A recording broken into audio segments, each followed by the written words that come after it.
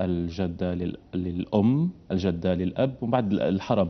آه، صحيح أن القانون أعطى أولوية في الحضانة لكن آه، ما أعطاش طبعا يعني ما خلاش الطفل يعني آه، يكون آه، مرتاح. يعني فيه إشكالات بعد التعديل الأخير هذه المادة. لا هو يعني اولا قبل ما نجاوبكم على السؤال أنه الموضوع موضوع خاصة نقول تناول يعني تناولكم لموضوع الحضانة. يعني الحضانة التي تكون دائما للطفل القاصر لما. نقول الطفل القاصر بمعنى سواء يكون ذكر أو أنثى يعني البنت ولا الولد مم.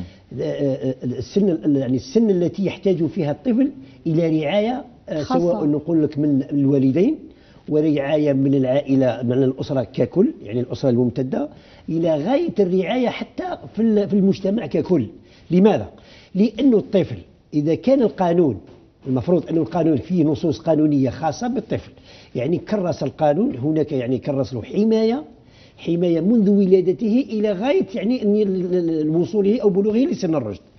الحماية التي بالنسبة التي أعطاها المشرع لذلك الطفل حماية أثناء يعني لما يكون في هناك نزاع قضائي أو في نزاع بين الطرفين أو حتى في الحالات هذه النزاعات التي قد تكون بين الطليقين ربما نتائج نتائجها تمتد إلى إلى الابناء القصر يعني إلى ال- إلى الأبناء اللي دائما يكونوا نقول الأبناء الذين يكونون ضحية آه، طلاق أو ضحية انفصال بين الزوجين. دوك ال- ال- ال- الإشكالية لا تطرح في في كيفية أو في الوسيلة أو في الأداة أو الطريقة التي يتم بها آه، فك الرابطة الزوجية. لماذا؟ لأنه فك الرابطة الزوجية بين الطرفين بالطريق التراضي حسب المادة 48 من قانون الأسرة سواء بالتراضي. أو بالطلاق بإرادة الزوجة المنفردة أو بتطليق بطلب من الزوجة بعدما تثبت عنصر من عناصر التطليق اللي على ما أظن في حوالي على الجهات على سبيل الحصر في مادة المادة التي لما تكون المرأة ت- تطلب التطليق بمعنى أنها تثبت الضرر أو بطلب من الزوجة عن طريق الخلع. كل هذه الوسائل دائما هنا نقول نتائج الطلاق. ما نحوش نمشيوش لأنه موضوع تعليم الحضانه ودائما الحضانه لما يصبح الطفل رهينه نقول رهينه يصبح عبارة عن وسيلة انتقام بين الزوج والزوجة. الإشكالية أين تكمن؟ تكمن في أن النصوص على الرغم نقول على الرغم من وجود نصوص قانونية مكرسة لحماية الطفل لما ال- ال- الامتداد تاع تاع ال- النزاعات اللي يكون هو ربما يصبح ذلك الطفل يعني النمو نتاعو بعد الطلاق يكون نمو غير سوي بمعنى سواء البناء النفسي نتاعو أو البناء الجسد الجسمي نتاعو يعني نشوفوا بأنه دائما بداية ال- ال- ال- ال- النتائج اللي, اللي, اللي من بين النتائج اللي تكون أو اللي ربما يتعرض لها الأبناء في الصغر يبدأوا بالتسرب المدرسي وبعد يدخلوا باب الجريمة باب الانحراف. يعني دائما نقولوا إحنا الأسباب تاع الطلاق. هنا ال- الإشكالية تكمن أنه اليوم يعني بغض النظر على وجود النصوص ولكن يجب على كذلك النصوص القانونية في قانون الأسرة في حد ذاته لأنه الترتيب غير مهم. الترتيب. إذا كان المشرع أعطى مصلحة المحظون يعني قيمة معينة يعني إنه مصلحة المحظون هي الأولى. أنه القاضي لما يجي يفصل دائما يبحث على مصلحة المحظون. لأنه حتى في بعض الحالات إنه هناك تحايل على القاضي على الق- على القاضي. من طرف من طرف يعني طرفين. الزوج طرفين. الحاضن أكثر. من طرف لا مش بالضرورة طرفين. الحاضن لأنه إحنا القاضي عنده نص. القاضي مقيد بنص. لأنه بعض التبريرات التي يتقدم بها تتقدم بها سواء الزوجه أو الزوج القاضي لا يقتنع بها. لأن القاضي غير ملزم بما قدمه أحد الطرفين من تبريرات.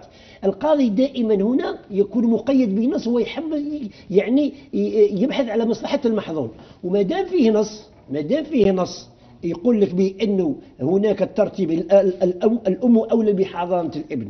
إذا في هذه الحالة القاضي راح يطبق هذا النص ولكن إذا أثبت الزوج المدعى عليه مثلا إذا أثبت بأن لا بأن آه، الوالدة أو الأم أم الطفل غير يعني غير أهل أو ليس بإمكانها حضانة. هنا في هذه النقطة آه، أستاذ نعم، تفضل. الحالات التي آه، طبعا تسقط فيها حضانة الأم في هي القانون الحالات تناولها القانون إذا تناولها بطبيعة الحال. لأنه كاين أولا كاين إذا سلمت الحضانة للول... ل- للأم بموجب حكم قضائي اللي دائما عادة يكون الحكم هو الحكم اللي يقضى بالطلاق أو ما يعرف بالآثار المادية الآثار المترتبة عن فسك عن فك الرابطة الزوجية أو عن الطلاق. بما فيها نقولوا من بين الآثار هي الحضانة. الحضانة التي تسند إلى الأم بموجب حكم يمكن كذلك إسقاطها بموجب حكم. بمعنى أن الزوج إذا تمكن نقول إذا تمكن من تقديم وسائل ودلائل وقرائن ويعني يعني قناعات يعني لأنه يقنع القاضي بأدلة ثابتة بأن الزوجة ليست أهلا لممارسة الحضانة هنا القاضي يتدخل دائما القاضي عنده قبل ما يصدر الحكم نتاعو تقديرية. يعني هنا يستعين بأهل الخبرة والفن دائما يستعين من في الحالات كما هذه أن القاضي ينتدب آه، ينتدب آه، آه، مرشد اجتماعي في الوسط في الفضاء الاجتماعي المرشد الاجتماعي ينتقل إلى مسكن الزوجة وينتقل إلى مسكن الزوج ويتبع يعني يمشي حتى إلى مدرسة المدرسة التي يمكن يزاول فيها دراسته يلعب دور. الوسيط هنا يعني ليس الوسيط المراقب. هو مش هنا الدور نتاعو إنه يعطي يبحث عن مصلحة المحظون لأنه القاضي في هذه الحالة إذا هناك نزاع حول الحضانة يعني بين الإسقاط والإبقاء. بين الإبقاء بالنسبة للزوجة التي لا عندها حكم وبين طلب الزوج لأنه يريد بعد بعد تسجيل قيد دعوة يريد إسقاط ذلك الحكم أو يعني يسقط الحضانة التي قضي بها بموجب حكم. هنا راح يجيب حكم آخر والقاضي هنا لازم يشوف مصلحة المحظون لأنه القاضي راح يجهل كل كل كل طرف يقول بأن الأولى وأنا اللي قادر باش نعيش ال- ال- الإبن. في هذه الحالة لأنه القاضي راح الوسط الاجتماعي أو الخل المعين في الوسط الاجتماعي يعني المرشد الاجتماعي راح يبحث على ما هي العناصر التي يمكن لي التي تساعد في نمو الطفل نفسيا والعناصر التي تساعد في نمو الطفل ماديا يعني شكون هو اللي قادر يعني باش باش يعني باش يوفر له الماديات نتاعو وكذلك البناء الجسمي لأنه مصلحة المحظون أين تكمن؟ باعتباره قاصر والقانون عطاها عطاه نصوص حماه بنصوص خاصة لأنه دائما لما نمشي للقاصر نلقى بأنه عنده حقوق عنده نصوص خاصة يعني ماشي كبار راشد. هنا القاضي إذا تمكن إذا تم- المرشد الاجتماعي إذا تمكن ويعطى يعني يعطى نتيجة أو ميول بانه الزوجه آه، غير آه، غير أهل للحضانه يمكن إسقاطها. وخاصة يقول لك النص يقول لك إنه في الحضانه هي في الأصل تسند للأم في كمرتبه أولى. وكذلك كاين نص آخر في القانون الاسري يقول لك في حالة ما إذا أعادت الزوجة في حالة ما إذا الزوجة يعني جاها مكتوب عودة زوجة. زالت لماذا عودة هذه الزواج. لكن بأجنبي. النقطة ليس بأجنبي حتى بأجنبي. يعني ماشي محرم. ماشي قريب. يعني نعم. مش من مش قريب، يعني مش من. الآن يعني يكون نعم. من درجة معينة يكون يكون غير محرم يعني وخاصة وكان مقرونة بشرط أن لا يتربى على دين أبيه بمعنى إذا تحصيل حاصل لما يكون أجنبي يعني تسقط لها بقوة القانون يعني هنا لا لا أنا أقصد بالأجنبي أنه بعيد عن عن طبعاً، العائلة على. لأنه هنا رغم زواجها وإذا أثبت وإذا أثبت المرشد الاجتماعي المعين من طرف المحكمة بأن آه، آه، ال- ال- التقرير نقولوا التقرير أثبت فعلا بأنها ما على الرغم من زواجها وأن الزوج الثاني يعامل يعامل الابن كأ- كأحد أو كأنه ابنه. أو يعني لا تسقط. الحضانة في هذه الحالة. نعم. لا تسقط الحضانة في هذه الحالة. إذا ما أثبت أن ال- ال- الأب آه، أو الزوج الجديد يعامل الطفل نعم. يعني كأنه ابنه. شوفي مسألة الحضانة أولا إسقاط الحضانة مقرونة بأجل معين. أنه في حالة ما إذا الزوجة كانت وأرادت أن تعاود الزواج المادة 66 على ما أظن أن تعطيها أصيبت عاهه أيضا في أسباب يعني. لا الأسباب هي يقول لك في كاين أجل لأجل رفع الدعوة الإسقاط في حالة ما إذا الزوجة أعادت الزواج بغير محرم. المطلق نتاعها أو الزوج نعم. يمكن له عنده أجل معين تاع سنة يرفع الدعوة. في حال ما إذا رفعها وأثبت التقرير القاضي مثلا عيد المرشد الإسلامي وأثبت التقرير ال- الوسط الاجتماعي بأن مصلحة المحظون يعني مراعاة يعني فيها رعاية وأنه الطفل يعني يعني الحضانة التي تمارسها آه، آه، الوالدة يعني مع الزوج الثاني يعني وأنه راه في أريحية هنا القاضي راح يبحث دائما على مصلحة المحظون هناك حالات قليلة لأنه ال- ال- التي تسقط فيها الحضانة عادة أنه لما يكون أو لما يثبت الزوج بأن سلوك الزوجة يعني سلوك غير سوي. مثلا سلوك منحرف أو ماديا أو حتى ماديا أنها لا تستطيع إعالة نفسها فكيف لها أن تعيل أبناء آخرين؟ لكن يعني دائما نوقع في مشكل آخر مشكل الإثبات. ربما القاضي يوقع في مشكل. بطبيعة الحال لأن الإشكالية كلها الإشكالية دائما في مسألة الإثبات. أعطيك مثال في الإثبات. لأن النفقة لما, لما نقول الحضانة في بعض الحالات الحضانة والنفقة هما نقطتين أو عنصرين أساسيين دائما مقرونين. لما نتكلم عن الحضانة نتكلم عن النفقة لأن الحكم القاضي الذي يقضي بالطلاق دائما يرتب من بين الآثار المادية نتاعو هي الحضانة والنفقة. والنفقة لما نتكلم عن النفقة النفقة الغذائية النفقة الغذائية ملبس مأكل ومشرب بطبيعة. الحال لأنه حتى النفقة الغذائية تبقى النفقة الغذائية الموقلة التي يقررها القاضي للطفل فقط. من تاريخ ما نقولش من تاريخ الطلاق من تاريخ رفع الدعوة لأنه إذا كانوا عنده في البيت لا يسأل. إذا خرجوا يسأل عليهم حتى من يوم اللي خرجوا. القاضي يقدر يحكمها من تاريخ الغيبة أو من تاريخ المغادرة ولا من تاريخ من تاريخ آه، آه، آه، إحجام المدعي ولا الزوج على الإنفاق. هنا الزوجة تحددها بتاريخ ويبقى أنه هو ملزم بالإنفاق على والديه إلى غاية سقوط النفقة شرعا وقانونا سقوط الموجب تاعها شرعا ولا قانونا؟ بالنسبة لنفقة الإهمال الزوجة تكون من تاريخ الخروج إلى غاية صدور الحكم وفقط. أما النفقة التي تبقى سارية المفعول يعني جنبا إلى جنب مع النفقة مع عفوا مع الحضانة هنا تبقى مقررة للأبناء ودائما نقول النفقة والحضانة والنفقة تشمل المأكل والملبس وكذا وتشمل حتى الإيجار لما نقول توفير المسكن. طيب لما توفير يوف- مشكل ال- المسكن أستاذ هو محل نزاعات في المحاكم الجزائرية. ما هي ربما العقوبات التي تترتب عن ذلك بالنسبة للأب في حالة عدم تسديد النفقة وعدم توفير المسكن. للحاضنة؟ السؤال سؤال وجيه ومهم جدا وكاين نقطة هنا مذهبية يعني من من المنبر هذا نقول بأنه هذه النقطة أنا بالنسبة لي كملاحظة شخصية دائما الناحية العملية دائما تقول توليني الفرصة نتكلم على النقطة هذه. بالنسبة للنفقة إذا أحجم إذا أحجم الوالد أو المحكوم المحكوم عليه بالإنفاق على أبنائه هنا ما- لا يطرح. الإشكال غير يعني الإشكال آم، فيه فيه الحل تاعو تكون المتابعة الجزائية على أساس المادة 200 و 200 و- قانون العقوبة 230 203 عدم دفع النفقة. عدم دفع النفقة مقررة في الإجراءات الجزائية. يعني طبقا جت على سبيل الحصر من بين النصوص التي يمكن للمطلقة أو للزوجة أن تطالب أن تتقدم بدعوى عن طريق الاستدعاء المباشر يعني في أمور سريعة. تبقى المادة 337 مكررة من قانون الإجراءات الجزائية يعني مباشرة أمام وكيل الجمهورية يتخلص من مبلغ الكفالة ويحدد لها مباشرة للجلسة. وبإمكانها كذلك أن تمشي إلى الطريق العادي عند وكيل الجمهورية وتأخذ وقت. أما يعني الإشكال مطروح بالنسبة للنفقة الإشكال لا يطرح. لكن الإشكالية التي تطرح في مسألة النفقة هو آه، آه، نقول لك لما لما يمشي لما يمشي التطبيق تاع الحكم أو تنفيذ الحكم القاضي بالطلاق والقاضي بإلزام الزوج بتوفير مسكن.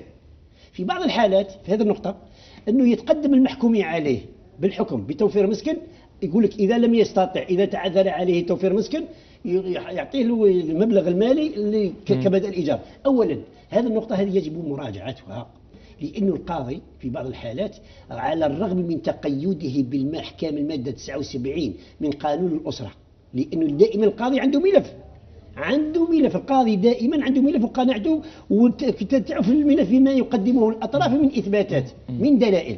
ال- ال- الزوج أثناء المرافعات أثناء سريان الدعوة يقدم بعض الوثائق التي من شأنها تفنيد مزاعم المدعية والمدعية كذلك تقديم بعض الوثائق التي آه، من شأنها تقديم تقديم أو أو تكذيب تفنيد مزاعم المدعى عليه.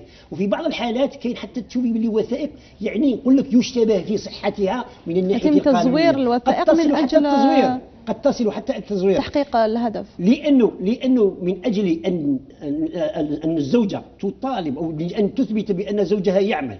بأنها يكسب بأنه يكسب وبأنه يعني ميسور الحال وبأنه يعمل في شركة أجنبية. والله مثلا يعمل في الصحراء يعني حتى من أجل إيصال الفكرة للقاضي حتى يحكم لها بمبلغ مرتفع من النفقة. وعلى العكس من ذلك أن الزوج في مقابل ذلك يمشي يمشي للبلدية يدير تصريحات شرفية يدير الإقرار يجيب حتى الدلائل بأنه لا يتقاضى أجر.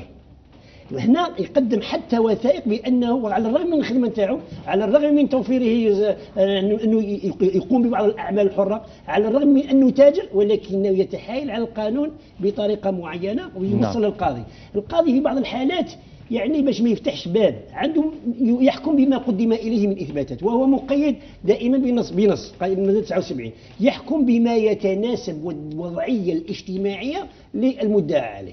تبقى مسألة ال- مسألة ال- تنفيذ الحكم الذي قضى آه، الذي قضى بال الذي قضى بالطلاق وحكم للمدعية بالإنفاق بالنفقة للأبناء وحضانة الولدين. الإشكالية أين تطرح؟ تطرح أثناء تنفيذ هذا الحكم. لأنه في بعض الحالات يمشي المطلق المدعى عليه يقول لك أنا باش ما نخلص 2500 آه، 25000 دينار ولا 10000 دينار ولا 15000 دينار حتى ينقص من مبلغ النفقة يقول لك أنا مقيد فقط بالإنفاق الشهري. أما الإيجار يقول لك أنا يروح يجيب يدير محضر معاينة ويجيب لك عقد إيجار ويمشي للقاضي ويقول له ويقول له أنا أسقط لي أطلب إسقاط حق إسقاط إسقاط ذلك المبلغ تاع الإيجار لاني أني وفرت مسكن ولكن هناك تحايل كذلك لأنه يمشي الزوجة هنا في العاصمة تقي في العاصمة ويمشي خارج الولاية ويجيب لها عقد إيجار خارج الولاية ويقول لها امشي في في مكان يعني غير أهل حتى بالسكان في بعض الحالات. يعني هذا من بعض التحايلات نعم. بعض التحايلات التي والتنفيذ لازم الحكم ال- ال- نكمل الفكرة إنه الحكم دائما ال- من هذا المنبر إحنا نقولوا باللي إنه هناك صعوبات دائما في تنفيذ هذه المسألة بالذات لأنه دائما الحكم يكون ما نقولش يكون ناقص ولكن يجب أن. تكون هناك آه، آه، نقاط تعطي حتى نتمكن تعطي آلية لتنفيذ الحكم من أجل الحد من هذا التحايل بالنسبة للزوج وكذلك من أجل الحد من تحايل الزوجة. لأنه دائما كلا الطرفين رشيدين وفي حال بعض الحالات تصل إلى حتى استعمال الأبناء القصر كسلاح لأجل الانتقام نعم. لا غير. أستاذ فضة إبراهيم بهلولي بالحديث دائما عن الحضانة بعد الطلاق في مسألة أخرى آه، مسألة حق زيارة الأطفال آه، بعد الطلاق. طبعا تطرح العديد من ال- الإشكاليات يعني بسبب ارتباطها بجوانب حساسة جدا. هل القانون نظم هذه المسألة حق زيارة الأطفال؟ هل يعني تطرق لربما مكان الزيارة أوقات الزيارة أو فيه فراغ قانوني لا؟ ما فيش فراغ. من هذا الجانب هناك نص هناك نصوص خاصة. إنه قلت لك بأنه الحكم. لأنه قانون م- مسألة قانون الأسرة منظم هذا قانون الأسرة ال- ال- تاع آخر التعديل تاع ال 2005 منظم هذه المسألة. حتى القاضي ما عندوش إشكال في الزيارة. لما يقضي بها لأحد الطرفين. يقضي بها لأحد الطرفين. الإشكال أين يطرح؟ لأنه دائما الزيارة كذلك تبقى أثر من اثار الطلاق هي إذا كان عنده ال- ال- ال- الزوجة قضي لها أو حكم لها بال- بال- بالنفقه بالحضانة. في مقابل ذلك أن الزوج القاضي لما يمنع ما, ما عندوش الحق باش باش ما يمدش حق الزيارة لل- لل- لل- لل- لل- للأب. لماذا؟ لأنه دائما القاضي يحوس على البناء النفسي. مصلحة المحظوظ تكمن في بناء في العناصر التي تعطيه وتساعده على أن يكون النمو نتاعو سوي نفسيا وجسميا. من بين هذه العناصر أن القاضي حتى لما يصدر الحكم بالطلاق ولو أنه أبغض حلال واللي أنه راح يجسد اراده الطرفين أو أحد يعني بعد استحالة العشرة دائما القاضي راح راح يشوف الحل. ذلك الحل الذي يقرنه بالطلاق. دائما ترتب عليه نتائج.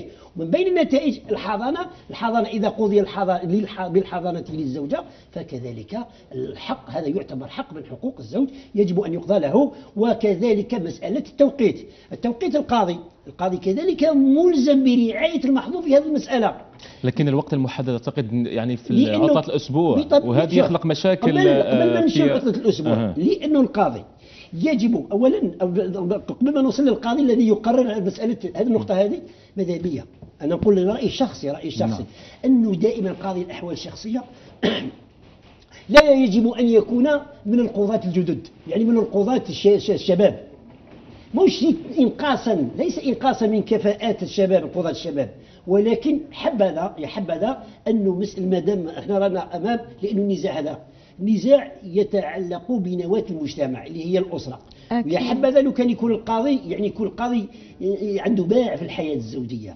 عنده يعني عنده عنده تجربة كبيرة في الحياة الزوجية. يعني يكون عنده أولاد يكون عنده لما نقضي بهذا الشيء لأنه القاضي لما يكون عنده تجربة راح يفرق بين منح الزيارة حق الزيارة للمدعى عليه اللي هو الزوج. لما يراعي في ذلك السن حتى السن نتاع الطفل. لأنه في بعض الحالات الطلاق قد يكون طلاق يقع الطلاق والولد المشترك جنين مازال ما خرج للدنيا. وقد يقع الطلاق والزوجة على فراش على فراش الولادة على في المستشفى أثناء الولادة. وقد يقع الطلاق بعد أسبوع من ميلاد الولد المشترك. وقد يقع الطلاق بعد شهر ولا شهرين. وكل الحالة هذه كيفاش انت القاضي؟ القاضي لما يقرر الحضانه في هذه الحالة أنا القاضي راح يكون ملزم بدراسة الوضعية وما قدم له من دلائل. إذا قدمت له الزوجة بأنه آه، في بطنها جنين وهناك دعوى طلاق مطروحة. السؤال يطرح. السؤال يطرح إذا كان ال ال ال ال ال الابن يرضع يعني خلينا نقولوا يعني يعني يتناول يعني من يعني يتناول الحليب من صدر الأم. وبالتالي هل ممكن إعطاء زيارة الاخرى نعطيها له أنا من الصباح من 8 ل 5 شيء لا يعقل. لأنه هنا يجب مراعاة كذلك دائما القاضي يبحث عن مصلحة المحظوظ ومن جهة أخرى يوجد آليات وتسهيلات. مرتبطة مرتبطة كذلك بالسن. تبقى مسألة الأعياد الدينية والوطنية ومسألة الأسبوع نهاية الأسبوع. هنا نهاية الأسبوع أستاذ مشكلة كبيرة يعني لما لا في الزيارة الإشكال لا يروح مثلا الأب عند الأم في ريال باش يروح عند باش يقول لها خليني نشوف أولادي تغلق عليه الباب تقول له ما نغلقش. هو يوم الجمعة كل شيء مغلوق يروح عند المحضر القضائي. هي فيه ثغرات لا ثغرات لأنه الإشكالية ليس بالقانون يلقى روحه يعني يدور في حلقات مفرغة. شوف شوف محترم نعم. هي القضية هنايا ليس لن تتعلق بالنص القانوني. ما الجدوى أني أنا أعطيك كقاضي نعطيك نعطيك الأسبوع أيام الأسبوع نعطيك أيام العطله المناصفه وراه الإشكال أنه أنت وليدك يعيش عندك آه 15 الأولى تاع تاع ثلاث شهور الأولى. عندنا ثلاث شهور تاع العطلة السنوية نعم. تاع الصيفية. أين الإشكال أنه شهر ونص عند يماه وشهر عند عند عند عند, عند الولد؟ والله الاشكاليه الإشكال ليس في النص الإشكال في الذهنيات. لأنه الذهنيات راني نقول بأنه هناك نية نوايا لأنه نقول بأنه الزواج في حد ذاته الزواج في حد ذاته انطلق بطريقة خاطئة بطريقة مخالفة للشرع والقانون. هذه الحاجة الأولى. اثنين الحياة الزوجية الطلاق لأنه دائما يكون مبني على أسباب واهية لأنه أعطيك مثال بقوس باش نفتح قوس طيب وصلت الفكرة أستاذ الموضوع شائك وواسع جدا. لكن نظرا لضيق الوقت نعم. نفصل فيه لاحقا. ستكون لنا فقرة ثابتة في برنامج الشروق مورنيك وسوف نتطرق لكل هذه المواضيع ونفصل فيها. شكرا جزيلا سيد بهلول إبراهيم لحضورك معنا اليوم. شكرا جزيل الشكر. اذا مشاهدينا الأكارم فقرتنا لازالت متواصلة ونتوقف الآن عند محطة لأبرز الأحداث العالمية.